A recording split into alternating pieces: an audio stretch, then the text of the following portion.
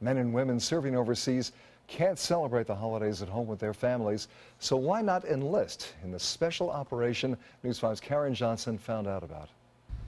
Plenty of Christmas trees here at Big Tree Plantation in Morrow, and that's why folks here are helping to make our troops' Christmases a little merrier. no problem getting into the Christmas spirit for Nick and Sarah Spatz. Well, I'm going to get a Christmas tree today here, and, and then I'm probably going to go home and decorate maybe.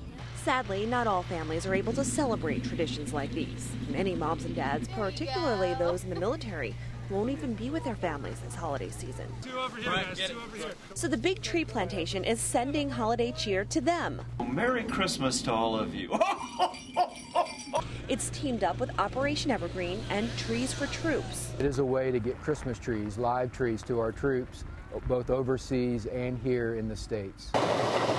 Dozens of trees We send only premium trees. have already been wrapped and sent overseas. Thanks to your donations, another batch will be headed to our servicemen and women next week.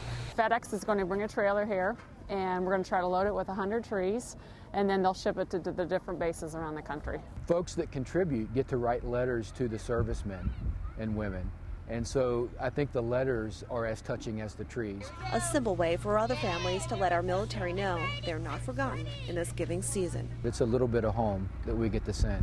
If you can't make it out here tomorrow but would still like to help some troops get Christmas trees this year, go to our website, WLWT.com, and click on the As Seen On link. In Morrow, Karin Johnson, News 5.